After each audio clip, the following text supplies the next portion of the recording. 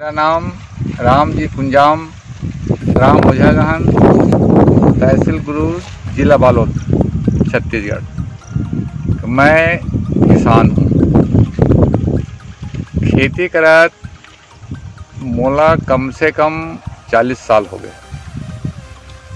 और अभी हाइब्रिड बीज है आठ सौ सात, सत्ताईस, चवालीस, तिरासी सत्यासी।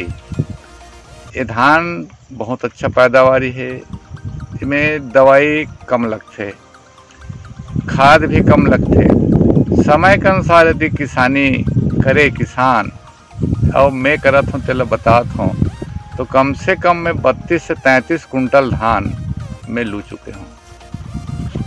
और मेरा बहुत पसंद है। अभी आने वाला साल में मैं और ज़्यादा मैं बोऊँ और एक दो किस्म के धान और लगाऊँ। आठ